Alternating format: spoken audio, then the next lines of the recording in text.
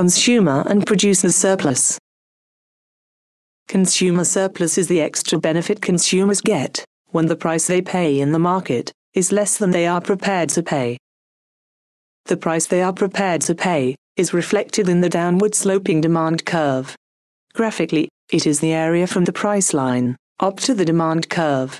Producers may also derive an additional benefit called producer's surplus. Producer's surplus is the extra revenue that producers get when the price they are prepared to supply at is less than the actual market price. The price producers are prepared to supply at is reflected in the upward sloping supply curve. Graphically, it is the area from the supply curve up to the price line. Surplus is maximized when the market is in equilibrium. Surplus will increase if the supply curve shifts to the right.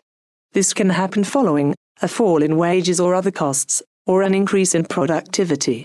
Surplus can also increase following an increase in demand. Although the precise effect depends upon the price elasticity of demand.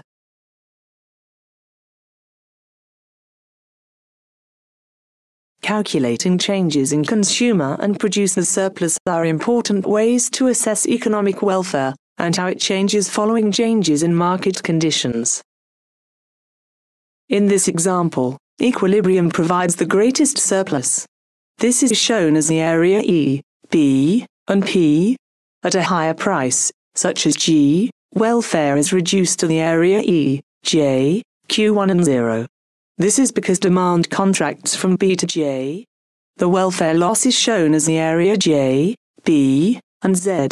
Similarly, if the price is set too low, at F, the welfare loss is also the area J, B and Z.